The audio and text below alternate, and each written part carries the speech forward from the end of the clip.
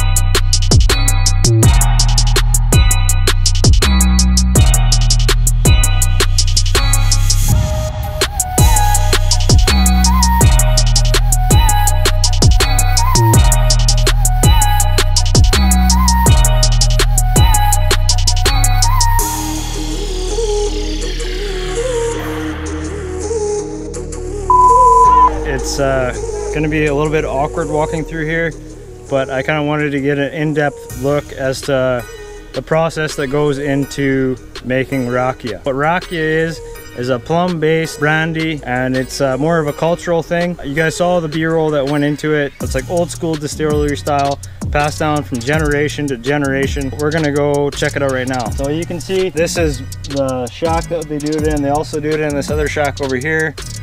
Where they get the plums is right here. Asia's father has kind of planned this around my visit and I'm very, very honored to be here and it's just a super cool experience to be a part of. So let's go check it out. So right here is what we, what we have is where the, the plums ferment. They leave them there for about four to six weeks. This is the remnants of what's left over. This is chorba, how it's made, and it's old fashioned. Chorba is one of my favorite Bosnian meals. It's just like a hearty soup. They get everything prepared right here. This is the distill or the distillery. I'm not 100% sure how you say it. You know, this is the old school style of doing it.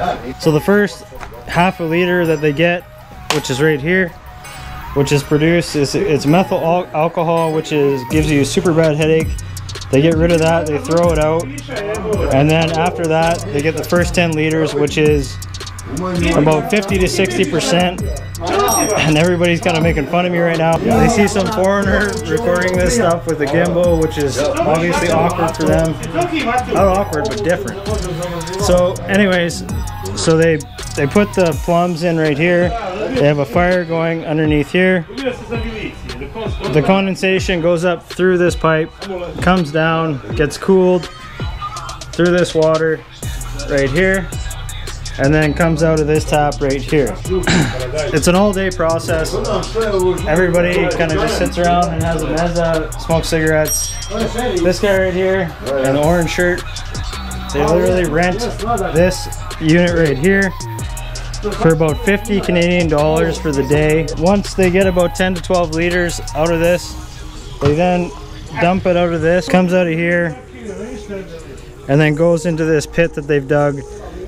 Uh, some of the farmers, they use the pits from the plums and they dry them out and use them as kind of like a fire firewood. This guy's stalking the fire.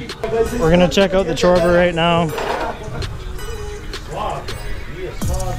What has happened throughout the years, something that's been passed down from generation to generation, and their father did it, and their father did it, and their father did it. Kiko, Essie's dad, wanted me to be engulfed in the full experience. And man, it's so weird getting all these looks from these people.